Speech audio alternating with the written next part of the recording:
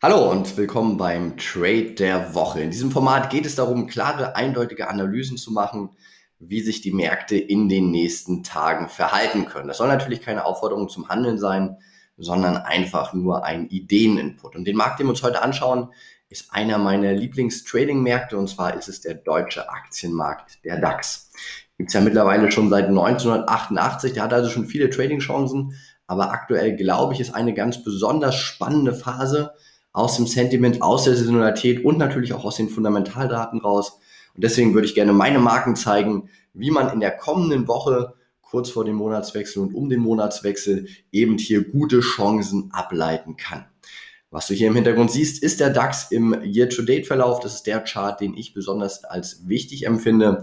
Year-to-Date ist eben gerade für institutionelle Anleger eine sehr, sehr wichtige Marke. Und da können wir schön sehen, dass der Markt hier auch mit diesem wunderbaren, mit dieser wunderbaren Umkehrkerze am 21. Juli kurz davor war, positiv zu handeln, also kurz in eine Year-to-Date-Performance zu gehen, die positiv war, was natürlich für institutionelle Anleger sehr gut ist.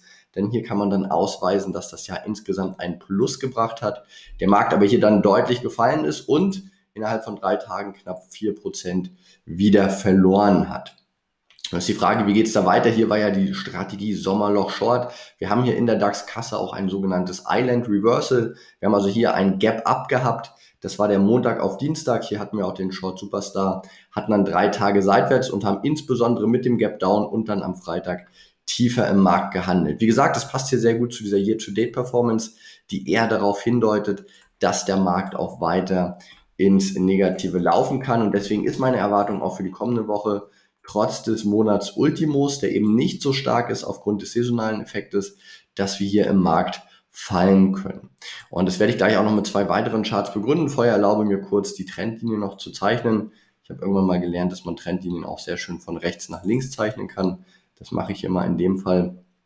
Und da sieht man dann eben auch sehr schön, dass dieser Aufwärtstrend, den wir seit hier März, Mitte März hatten, dass der eben hier kurzfristig zumindest gebrochen wurde mit dieser Dynamik am Freitag. Wir haben auch weitere horizontale Linien im Chart rausgenommen. Also rein von der technischen Warte her sind wir hier unter diese Tiefstände gelaufen, äh, beziehungsweise über unter diese Hohlstände gelaufen, die wir hier temporär im Juni ausgeprägt hatten. Haben also von der technischen Seite zumindest einiges an Bestätigung jetzt aus der schwachen Börsenwoche, insbesondere aus dem schwachen Donnerstag und Freitag rausgenommen. Hier war es ja auch so, dass die Highflyer, insbesondere aus der Nasdaq, große Underperformances abgeliefert haben zum Gesamtmarkt. Die Nasdaq hat ja dieses Doppeltop gemacht, wo man eben auch darauf hindeuten kann, dass der Markt zumindest temporär erstmal hier ausatmet. Also so sieht es im Year-to-Date-Bereich aus. Schauen wir uns das nochmal ganz kurz für den Short im Monatsbereich an. Und hier würde ich eben erwarten, dass eine gute Marke wäre, wenn wir nochmal an diese Trendlinie zu, äh, zurücklaufen, wenn wir vielleicht auch das Gap sogar schließen im Laufe der Woche. Also ich würde jetzt nicht blind am Montagmorgen gleich Short gehen, sondern ich würde insbesondere auf das kurzfristige Sentiment achten und dann hier einen Rücksetzer im Bereich von 13.000 bis 13.100 nutzen, um dann hier diese Short-Position aufzubauen.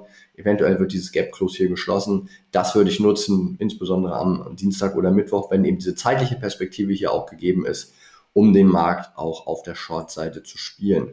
Wo wäre ein sinnvolles Stop-Loss sicherlich? Das wäre dann hier über den Marken von 13.250, wo der Markt dann eben wieder year-to-date ins Plus läuft, oder dann um die Marke von 13.300, wo der Markt dann eben auch hier dieses Top zumindest kurzfristig gebildet hatte am Dienstag und danach dann auch tiefer gehandelt hat.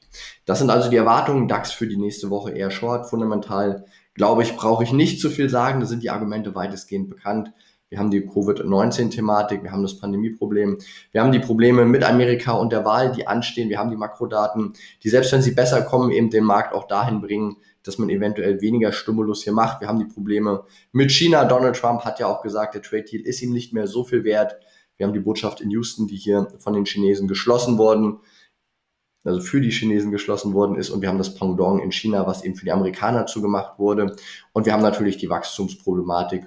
Und gerade mit der zweiten Welle sieht das alles im Sommerloch, wo es weniger M&A-Transaktionen gibt, wo es eben saisonal einige Abflüsse gibt, nicht so wirklich optimal aus. Schauen wir uns dazu nochmal die Saisonalität an. Ich habe hier bewusst mal 15 Jahre genommen und gezeigt.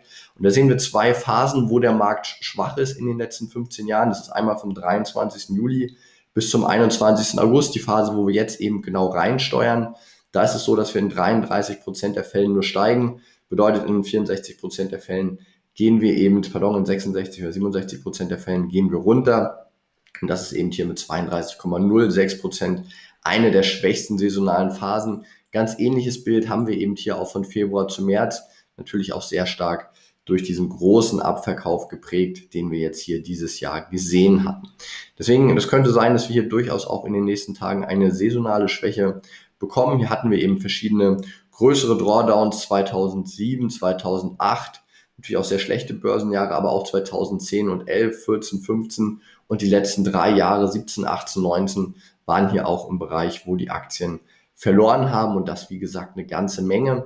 Ist also von der saisonalen Idee nach der Berichtssaison und auch schon in der Mitte und am Ende der Berichtssaison eher so, dass der Markt im Sommer ausatmet. Das liegt an dem saisonalen Sommerloch Short, dass man eben hier in den institutionellen Fonds nicht so viel ins Risiko reingeht, ein Stück weit eben seine Position auch mal zumacht und eben auch nicht ins Risiko geht, wenn die Kurse deutlich fallen, sondern vielleicht eher sogar mal ein Stop-Loss zieht, weil es das Nachrichtenloch gibt, weil die Unternehmen nicht zu berichten haben, weil es keine M&E-Transaktion gibt und, und, und. Ja, und das korrespondiert noch mit einem Sentiment, hier dargestellt durch das Euwax-Sentiment von der Börse in Stuttgart, wo man sagen kann, dass wir auf Monatssicht wieder einen Höchststand erreicht haben, also in den letzten Tagen, in den letzten drei, vier Tagen, wo der DAX eben von 13.300 gefallen ist, wo der ein oder andere Privatanleger vielleicht auch in den Sommerferien ist, ein bisschen mehr Zeit hat, sich mit der Börse auseinanderzusetzen, ist das private Geld in Optionsscheinen und Zertifikaten eher in den Markt reingegangen und auch das bringt mich eher dazu, hier bearish zu sein. Über den Wochenendhandel haben wir am DAX auch nochmal 30 Punkte verloren, haben hier also auch übers Wochenende nochmal ein kleines Minus gemacht. Und ich würde eben gerne Rücksetzer verkaufen im Bereich 13.000 bis 13.100 wäre optimal. Wenn das Momentum schon vorher nach unten geht, würde ich auch tendenziell mit dem Momentum nach unten gehen. Wenn der Markt die Marke von 13.300 in der Woche übersteigt, müsste ich einen Stop-Loss ziehen und würde meine Position hier auch entsprechend zumachen. Letzte Woche war ja der Trade der Woche Euro-Dollar Long, hatte sehr, sehr gut funktioniert von der Analyse her und vielleicht klappt es ja auch diesmal wieder mit der Analyse DAX Short.